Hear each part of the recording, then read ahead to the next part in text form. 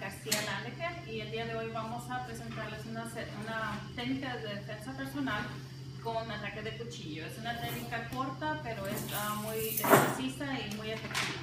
Uh, aquí tengo mi ayudante que va a ser Silva Guillermo, él nos va a ayudar con la técnica. Este es una técnica corta que viene el atacador, viene con su cuchillo y principalmente lo importante que queremos decir es que no queremos que ningún problema. Si viene una persona atacando, hey, ¿sabes qué? Yo no quiero problemas, si quieres mi bolsa, lo que quieras llevarte, está bien.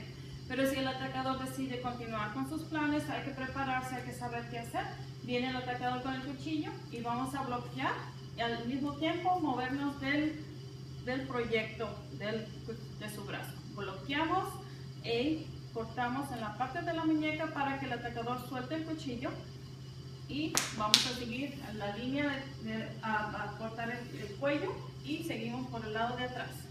¿Ok? Cuchillo, bloqueamos, trabajamos en la muñeca, seguimos por el cuello y atrás de vamos a hacerlo de manera de una manera rápida. ¿Ok? So, decimos, hey, yo no quiero ningún problema. Sí, sí,